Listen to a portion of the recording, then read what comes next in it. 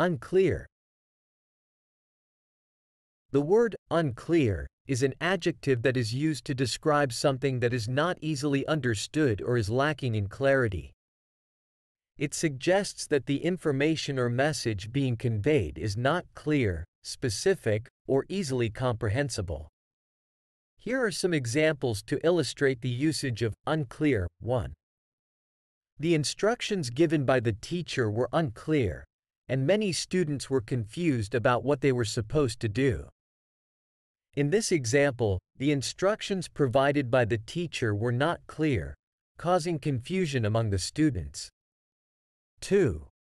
The speaker's accent made it difficult for the audience to understand what he was saying, and his message remained unclear. Here, the unclear pronunciation and accent of the speaker made it challenging for the audience to comprehend his message. 3.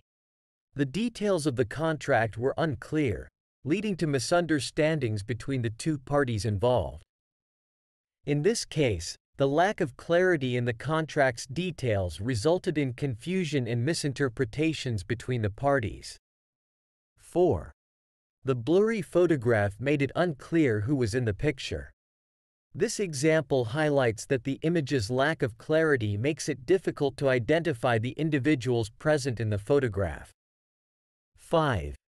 The explanation in the textbook was unclear, so the student sought clarification from the teacher. Here, the unclear explanation provided in the textbook prompted the student to ask the teacher for further explanation. Overall, unclear is used to describe situations where information, instructions, messages, or details lack clarity or are not easily understood. It signifies a need for further explanation, clarification, or simplification to ensure comprehension.